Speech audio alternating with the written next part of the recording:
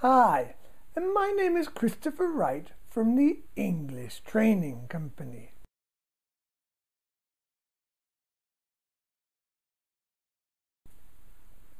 And today I'm going to talk to you about business English habits. We've got a, we work with a lot of professionals, and one of their main problems is a lack of time. And also, they have a negative impression of their English. My English is not good, for example. So, what we've done is we brought those two problems together with a solution that is business English habits. So, what we've done is we've created a five day hab- a five day English habit plan where you can include 10 minutes of English every day.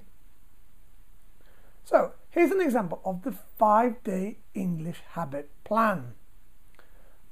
Number one, interact and participate in LinkedIn. So you can write, interact, read, participate for 10 minutes and do it all in English with your con- contacts in LinkedIn.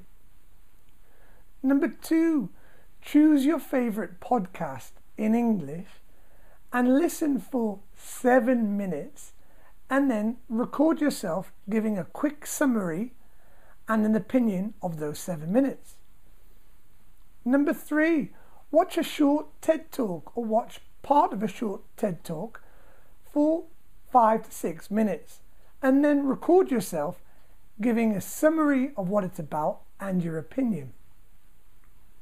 Number four, check in with a colleague, phone a colleague, ask them how they're doing and what they've been up to, and speak with them for two, three, four, five minutes, and you'll feel better. You'll feel good that you contacted them, and you will have done it all in English. And the last habit, or day five, is to do a hobby or an activity, something you really love and enjoy, and do it in English. You can give yourself instructions in English, you can explain what you're doing in your hobby in English, and do it for 10 minutes. So, this is your five day English habit plan.